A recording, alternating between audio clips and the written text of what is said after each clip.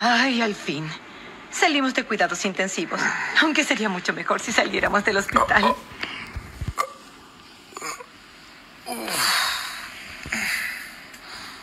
Mamá. Creo que está muy alto.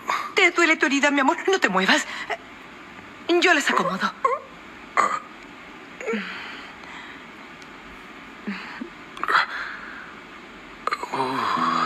¿Así están mejor? Mejor.